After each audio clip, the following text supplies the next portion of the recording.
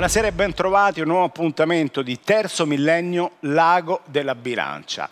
Inspiegabilmente ci, avviciniamo alle prossime elezioni amministrative e ancora non abbiamo i nomi dei candidati. Nel centro-sinistra ce ne sono forse anche troppi, da parte del centro-destra tutto tace. E quello che cercheremo di capire, che approfondiremo nell'odierna puntata di Terzo Millennio e poi faremo anche un'ampia parentesi sulla giustizia perché è qualcosa ragazzi nel nostro paese veramente fuori dal mondo. Ne parliamo con il Cavaliere della Repubblica Pierluigi Granieri. Buonasera, ben arrivato. Buonasera.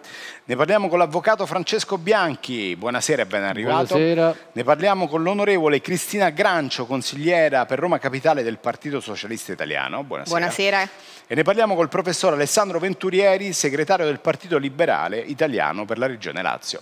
Buonasera. Buonasera. Allora, io inizierei subito con uh, lei, Grancio. Allora, eh, abbiamo la notizia, ormai è la sanno tutti, abbiamo un ulteriore candidato sindaco per quanto riguarda il centro-sinistra, ma non siete troppi. No, io devo dire che l'offerta politica è importante, soprattutto è importante che si siano candidate le donne. Eh, ho avuto l'onore di essere la prima ad aver scelto questa strada e quindi rivendico questa mia scelta, rivendico la scelta del partito che ringrazio ovviamente di aver creduto in me e credo che avere la disponibilità eh, di un ampio ventaglio all'interno di una coalizione del centro-sinistra dove ovviamente c'è il partito di maggioranza, il, diciamo la l'azionista di maggioranza, chiamiamolo così, che ha una lunga storia su Roma e che quindi eh, ehm, ovviamente eh, sarà soggetto a tutta una serie di considerazioni per quelli che eh, eh, si sono candidati è importante. Il Partito Socialista ovviamente entra in una situazione di rottura con il Partito Democratico perché ovviamente la Roma che vediamo oggi è anche le conseguenze significa? del mi Partito perdoni, Democratico. Questa è una cosa che mi incuriosisce molto. Rottura in che senso? Cioè voi partite ci sono una serie di candidati, ovviamente, eh, diciamo, a oggi va tanto di moda autocandidarsi, possiamo dirlo, no?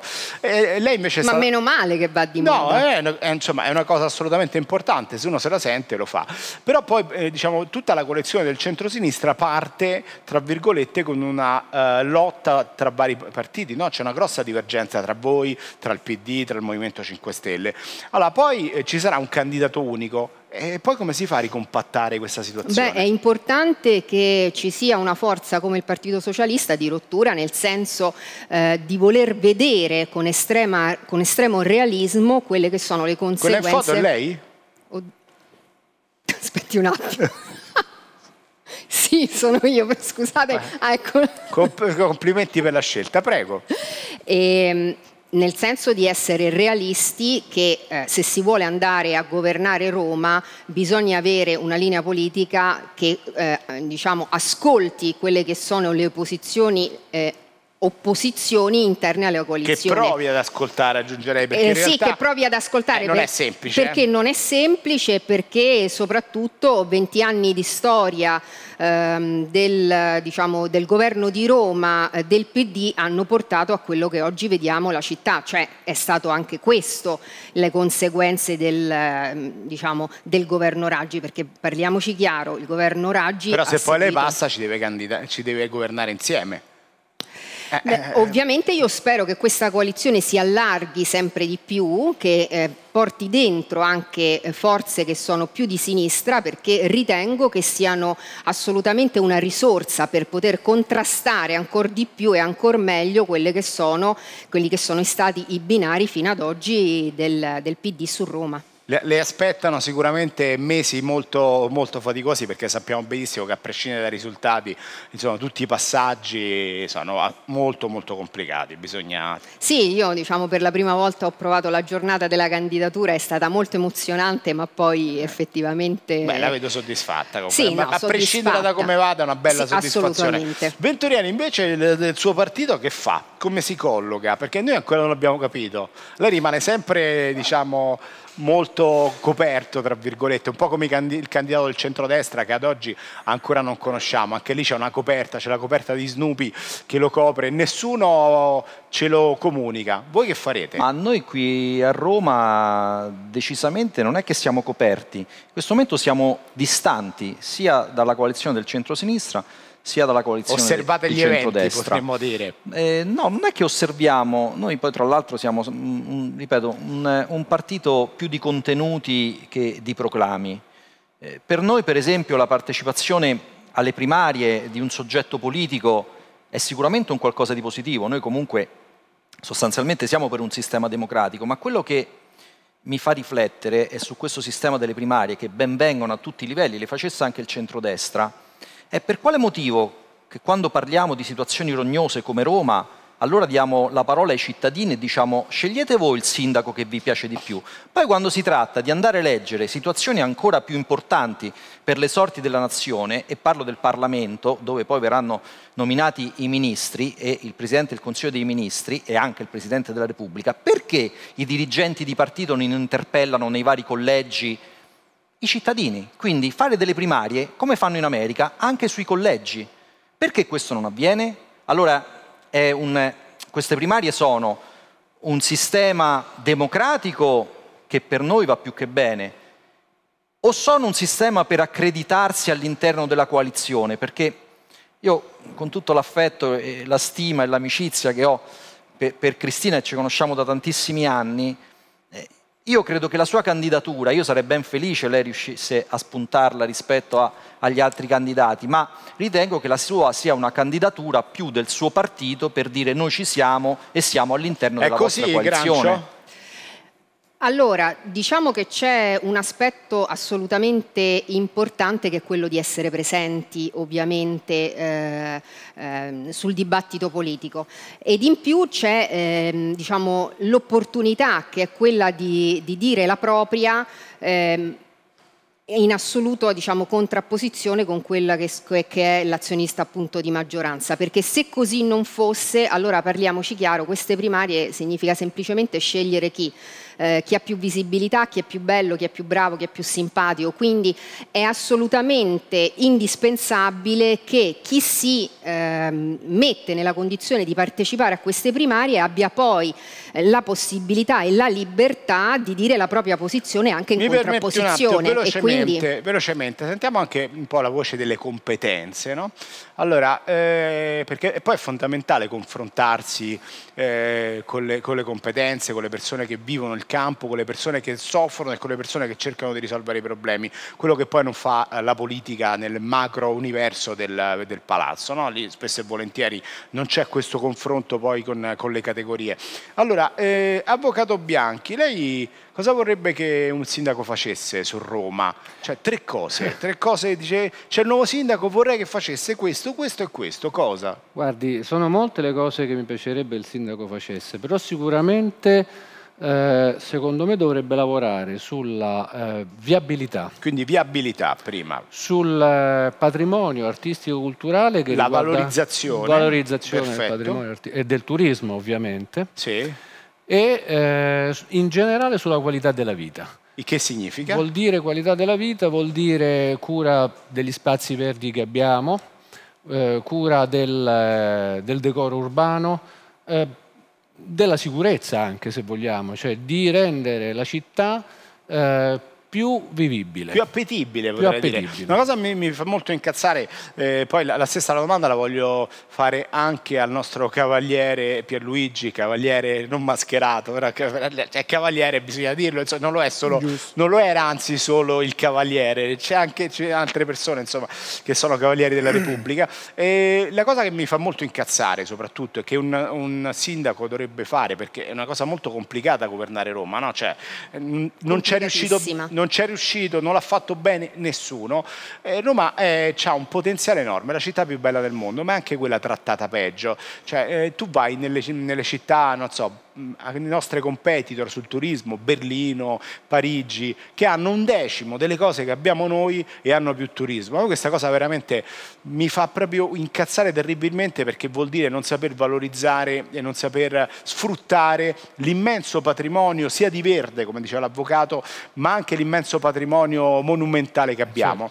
Tre cose, Granieri, che- da chiedere a un sindaco. Allora, eh, la prima di non fare una propaganda eh, per la sua rican- ricandidatura, perché ci sono delle persone, eh, perché lei ha fatto vedere che ha un'agenda, per esempio, dove rispondeva a tante persone, però le persone che gli mandavano una PEC, come ho visto in televisione di una signora che era in difficoltà e quindi chiedeva alcune cose, non, eh, non hanno neanche risposto. Quindi una, una maggior, un, lavorare sulla parte amministrativa, sulla burocrazia. Esatto. Poi per esempio ci sono delle, dei posti come Bassoggi, che è una residence, dove ci sono dei ragazzi che potrebbero emergere, però hanno fatto vedere che quella struttura è in decadenza, quindi avrebbe bisogno di manutenzione. Però invece andiamo a vedere altre cose, che ne so, il campo Rom, quindi dobbiamo spendere milioni di euro quando ci sono famiglie italiane che hanno bisogno di, di essere reintegrati perché veramente lì è, un, è proprio uno scempio in, quella, in quel posto. E quindi aiutare queste persone quindi non lasciarle proprio così per strada come, hanno, come stanno facendo. Quindi riqualificare eh, tutte le abitazioni che ci sono, tutti diciamo, i quartieri e non lasciare quei quartieri soltanto quelli a nord. Quindi riqualificazione delle periferie. Poi? Aiutare anche i ragazzi, per esempio, ecco, rifaccio sempre l'esempio di Basoci, c'erano dei ragazzi che dimostravano di, di fare ginnastica, no? quindi aprire delle palestre a costo zero, farle addirittura... Eh, come si dice, eh, farle governare da loro, quindi senza... Eh... Cioè che non vuol dire autogestione, dargli la possibilità esatto, di aprirle. Quindi, quindi queste sono le cose che uno dovrebbe fare per poter andare avanti. Quindi la terza cosa, se ho capito bene, mi perdoni, che è una cosa assolutamente importante e condivisibile, è cercare di aiutare i giovani nella loro direzione. Certo. Giusto? Certo. Cioè permettere ai giovani a, a livello economico. Allora, partiamo da un presunto, innanzitutto un presunto fondamentale. Dato che all'interno dell'arco della bilancia noi parliamo principalmente di Roma, su Roma, diciamo da tutto questo piano Marcia, da tutti questi eh, miliardi e miliardi che stanno pian pianino arrivando, arrivando proprio a gocce, per Roma sono stati messi in campo solamente 500 milioni. Cioè una cifra, mi perdoni, se lei sarà la futura sindaca, io gli volevo però ripetere, ridicola, perché non ci fai nulla. Quello che dice Granieri è assolutamente condivisibile, cioè pieno di ragazzi che in realtà hanno delle idee, vogliono fare delle cose e si trovano sempre le porte chiuse, questo diceva certo, lei. Ma un, un, ci sono dei, dei palazzi che sono in disuso in qualsiasi zona di Roma, quindi invece di lasciarlo in mano a delle persone che abbiamo visto più volte Dal in degrado, certo. a un degrado enorme, riqualificarli, quindi dargli la possibilità di poter frequentare una palestra, perché una palestra è importante perché le persone si ritrovano, quindi possono eh, essere allontanati da certe idee che potrebbero nuocere al ragazzo. Quindi sarebbe una cosa molto, molto bella. Aiutare, allora, quindi aiutare, esatto. i aiutare, i giovani, diciamo, con magari dei fondi stanziati ad hoc, invece di aiutare tantissime persone che spesso e volentieri poi in realtà se ne approfittano, non certo. hanno bisogno, ma un giovane che non si può permettere di andare per esempio a fare sport, che quindi lo togli dalla strada certo. e, e, e, vai a lavorare diciamo, sulla base della, della microcriminalità, esatto. questa potrebbe essere un'idea. E certo. tante altre, c'è un trend di sviluppo e di aiuto ai giovani soprattutto nelle periferie dove in realtà c'è molto poco. Abbiamo certo. fatto una puntata doc proprio eh, sulle periferie, mi sembra che c'era lei professore, cioè c'è proprio un, uh, un dislivello, come ha detto poc'anzi Granieri, tra eh, il centro di Roma, che sono più o meno, mi, mi, sembra, siamo 1 a 10 come rapporto abitativo, e le periferie. Cioè nelle periferie spesso non ci sono neanche i servizi essenziali. Poi è normale che i giovani non, non hanno nulla da fare, hanno difficoltà a muoversi, hanno pochi soldi e magari prendono una brutta strada o ancora peggio non riescono a cavalcare quello che è il loro sogno. E la cosa che più diciamo così eh, duole ricordare è il fatto che tutti i sindaci che si sono succeduti negli ultimi eh, 25 anni hanno fatto eh, di questa problematica la loro campagna elettorale, cioè sostanzialmente la riqualificazione delle periferie la sentiamo continuamente in tutte le campagne elettorali. Poi sostanzialmente eh, viene fatto poco e nulla. Io l'unico sindaco che mh, ricordo che qualcosa diciamo, non mi dica Rutelli un'altra volta ah, beh, diciamo che Francesco Rutelli sulle periferie cioè, un minimo in più di attenzione sindaco l'ha, l'ha avuta no ma non è io, per carità poi eh, Roma è stata amministrata eh, lo abbiamo visto insomma sicuramente non non bene nel, nel, diciamo nella seconda repubblica. Però Francesco Rutelli guarda, faccio un esempio su Francesco Rutelli. Noi oggi parliamo di ciclabilità. Sì. la pista ciclabile più importante che abbiamo a Roma è quella che ha fatto Rutelli Queste, queste della Raggi proprio non gli piacciono a lei. Eh? queste non sono piste ciclabili, quelle sono delle strisce fatte con la vernice sulla strada senza nessun, eh, voglio dire, veramente criterio di, di conoscenza della, de, della, ciclabilità di una città, perché le posso dire cosa penso? Fare le nozze con i fichi secchi. Cioè se si pensa di aver fatto 150, 200, 500 km di piste ciclabili in quel modo, era meglio non farle perché le piste ciclabili vanno fatte con l'ampliamento dei marciapiedi, con logicamente la sistemazione in alcune eh, aree che magari dove ci sono adesso dei parcheggi. Allora è chiaro che questi sono interventi che hanno un costo, ma se dobbiamo assistere a quel tipo di pista ciclabile, voglio dire, abbiamo delle proteste da Ostia abbiamo al terzo municipio. Non le piacciono. Cioè, eh, Andrea De Priamo, eh, ben arrivato. Eccoci, eccoci. Bene arrivato, ce l'abbiamo fatto, consigliere per Roma Capitale per Fratelli d'Italia. Innanzitutto, buonasera, come sta? Abbiamo parlato del candidato sindaco del centro-sinistra, ce ne sono veramente in quantità industriale e ne abbiamo uno qui in studio oggi. Invece buonasera per... Andrea. Ciao, ciao, ciao. Per quanto riguarda ciao, invece il centrodestra, io continuo a punzecchiarvi per capire se c'è un nome, ma niente, tutto tace. Ma come mai? Ma eh, diciamo che, che tu, tutto taccia non è vero, nel senso che noi stiamo eh, chiaramente lavorando per arrivare a una definizione. Io credo che eh, il riferimento che, che fa giustamente eh, al, alla, mh, al, fatto dei, dei, dei, nomi è legato proprio ad evitare, eh, chiedo scusa ma sono come vedete in Campidoglio, sì, sì.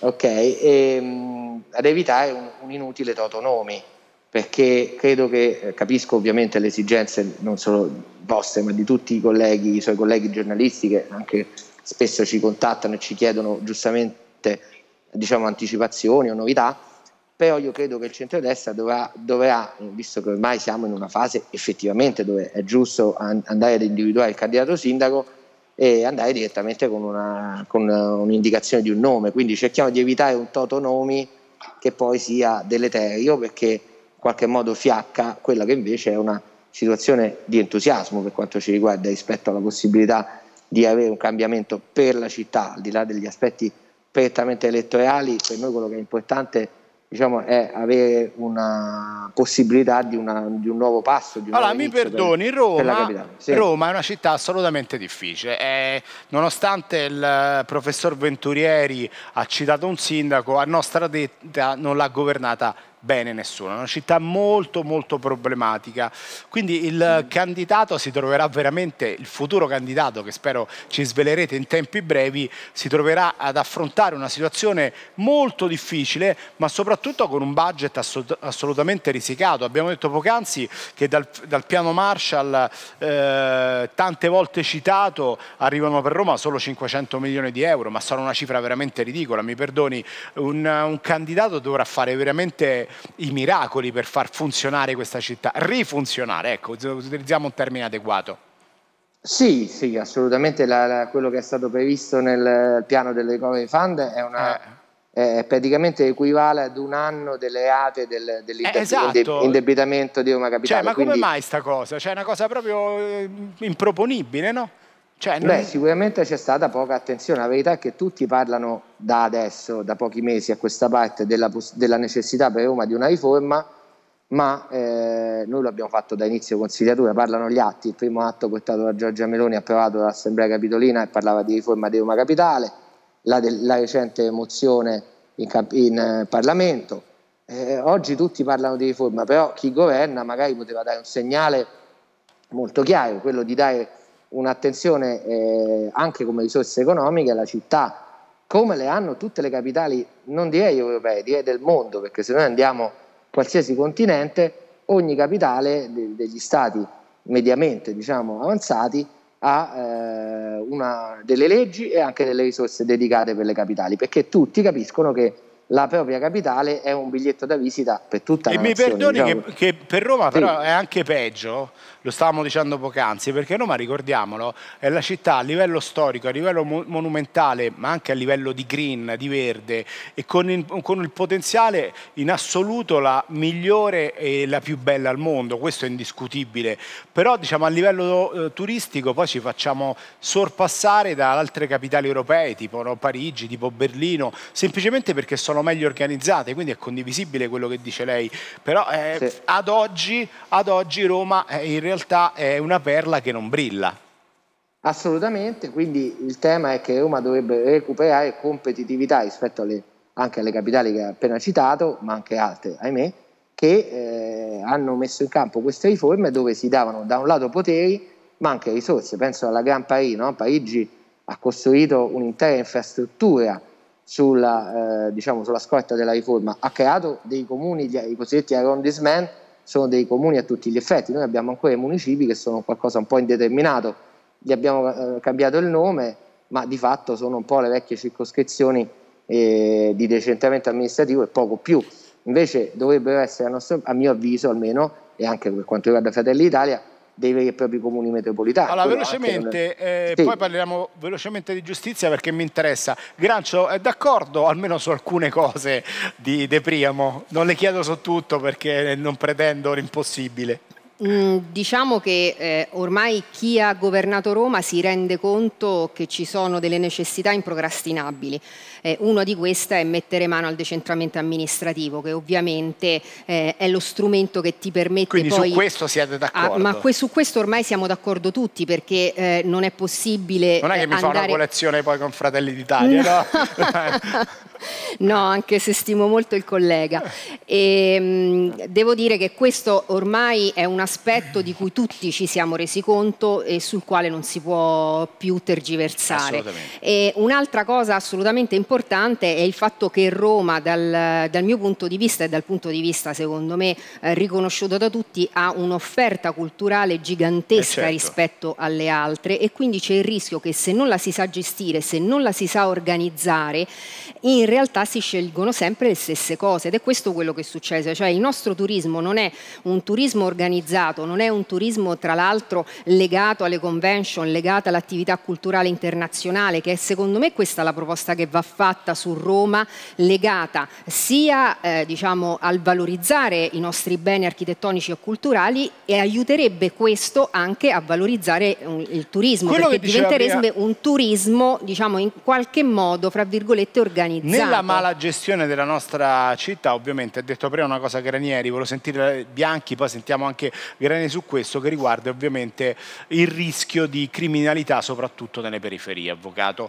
C'è un problema atavico in Italia, fondamentale, che è quello della giustizia. Qui da anni si parla di riforma della giustizia, ne parlano tutti eh, nel momento della candidatura, tutti dicono riformiamo la giustizia, poi non lo fa nessuno. Sì, eh, Cioè, ma qui i processi vanno avanti 5-10 anni, poi lei lo sa, cioè non se ne esce vivi.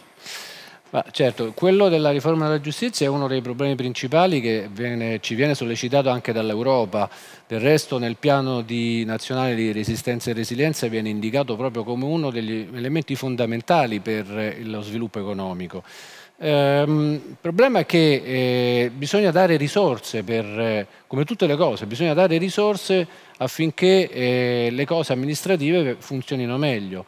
Ehm, la mia sensazione è che si cerchi di fare da anni delle eh, riforme invece legislative che tendono sostanzialmente, è vero alcune cose potrebbero essere utili, però a mortificare il problema dei diritti, perché i processi cioè, penali che civili, amministrativi, servono a stabilire dei torti e delle ragioni, servono a Certo. stabilire chi ha ragione dei diritti e semplificare troppo il processo vuol dire poi fare ingiustizia. Però, però mi ha detto una frase eh, in una puntata precedente quando è venuto ospite eh, Pierluigi Granieri, ex ispettore superiore di Polizia di Stato e Cavaliere del Lavoro, dicendo sì, però spesso io poi quando facevo il, il mio mestiere eh, prendevo i delinquenti, per usare un termine abbastanza comprensibile, e poi do- dopo un anno, due, tre, vedevo che stavano ancora fuori tranquillamente a non far nulla. Cioè poi c'è una divergenza tra il lavoro effettivo e tutta la fase processuale, non, non è unita. Cioè, è Hai allungato già troppo, un anno, due anni, proprio deve, aver fatto una strage per stare dentro, quindi... Eh, ma la cosa assurda è che quando tu vedi in televisione una persona che al commento dove gli dice ma l'ergastolo secondo te dice io ho votato per toglierlo chiaramente perché una persona a 70 anni che cosa vuoi che faccia? Sarà cambiato? Io gli vorrei che quella persona andasse da quel signore anziano che stava mettendo i soldi per il parcheggio sotto all'ospedale e quel signore che è stato arrestato, quindi una, è stato condannato all'ergastolo per aver ucciso tre carabinieri e una donna, gli hanno dato un permesso premio e lo stava sgozzando con un taglierino, dopodiché è stato trovato alla fermata della metropolitana sporco di sangue e è stato arrestato. Oppure quello che ha ammazzato eh, a Tiracina, che ha fatto quella strage, gli hanno dato un altro permesso cioè, premio. Secondo lei la giustizia è troppo morbida, questo Ma certo, tu hai commesso un reato e lo devi pagare fino alla fine. Io non posso, io salto dal letto adesso questo ultimo periodo perché chiaramente non puoi uscire, non puoi fare nulla. Vedo delle trasmissioni dove il terrorista che sta in Svizzera dice eh, ma questo giustizialismo mm, non bisogna capire, ma fagliela far capire a quelle persone che stanno sottoterra che avete ammazzato. Quindi, guarda, vi rinvito perché questo è interessante. Avvocato, secondo lei la giustizia è troppo morbida? Lei fa il penalista, poi insomma... cioè, da quello che abbiamo detto... Guardi, lui trovo... è, un, è, diciamo, fa, ha fatto questo mestiere, ha vissuto degli episodi particolari e giustamente è incazzato quando vede delle situazioni che poi eh, persone che hanno fatto delle, delle cose molto gravi, sì. per esempio dei tipi di omicidi vengono puniti come dei reati fiscali, cioè eh, qui Ora, c'è qualcosa di strano, no? Eh, non è proprio così, Vabbè, se... non mi trovo... Eh, in, mi trovo in disaccordo su quello che dice il Cavaliere. La, uh, la, questione è che a fronte di episodi sicuramente ci possono essere degli episodi in cui si è data uh, dire, fiducia dei soggetti perché poi la pena a un certo punto finisce, la pena in Italia ha anche una funzione rieducativa e mi stupisce che eh, il Cavaliere della Repubblica prima parli giustamente e in maniera apprezzabile di riqualificazioni delle periferie, parli di Bastoggi, Bastoggi è un luogo dove è altamente criminogeno, dove ci sono molti soggetti, e dica una cosa giustissima, che invece va controcorrente su, sull'affermazione successiva, e cioè il fatto che la pena deve, cioè che, che la criminalità non va affrontata soltanto con la pena e la detenzione carceraria, perché il carcere è il luogo dove si formano i criminali, anche quelli che prima non lo erano. Vi rinvito su mi questa scusi, cosa. No, voglio, voglio, perché, voglio scusi, finire il discorso. Ragazzi, vi no, voglio finire il discorso eh, perché è proprio riqualificando. Una battuta gliela concedo, eh, no, un secondo. Eh no, cioè, devo finire il discorso. Quello che dice l'avvocato è de... giusto a metà. Io, io sto sì, dicendo ma non avevo questo. finito. Se tu commetti un reato, lo devi pagare tutto. Quando esci, poi vediamo come va. Ma prego, se noi, ma se prego, noi manten... Certo, ma infatti si pagano in Italia i reati. Eh, sì, e ci sono anche tanto, proprio sono... stanno tutti dentro. Quello che dice lui è che Cosa vuol dire pagano. tutti dentro? Ci sono anche persone innocenti dentro, persone che è la storia della quotidiana di, Guardi, della avvocato, nostra giustizia modo, ci, ne riparliamo, vi invito, persone... vi devo salutare. Vabbè. Ringrazio per Luigi Granieri, Cavaliere della Repubblica. Una, Grazie. Sì, su questo è interessante perché anch'io qualche ricaduta su Roma la vorrei allora, dire. vi rinvito, facciamo un, Come no? prossimamente tutti e tre una puntata, vi metto distanti così potete discutere no, quanto volete. Ringrazio l'avvocato Francesco Bianchi, grazie. Ringra- ovviamente ognuno eh, dice, lui ha vissuto il campo, lei fa un altro mestiere, ognuno dice la sua e questa è la bellezza di questo programma libero e indipendente. Ringrazio l'onorevole Cristina Grancio. Grazie a voi, buonasera. Candidata sindaco a Roma in bocca al lupo. Crepi Ringrazio Lupo. il professor Alessandro Venturieri, grazie. Grazie, e ringrazio Andrea De Priamo, grazie, spero di, di riaverla presto, magari la prossima volta con un po' più di tempo De Priamo. Volentieri, volentieri. Purtroppo oggi c'è il fatto della seduta e ha creato un po' di Ci saluti però. quel posto meraviglioso che è il Campidoglio. A presto. Ah, il, posto sì, pensavo che mi diceste di candidare la sindaca, preferisco evitare. Di salutare la sindaca. Sono stato evitare. chiarissimo la saluto. L'appuntamento con Terzo. Millennio torna immancabilmente domani. Grazie di averci seguito. Buonasera.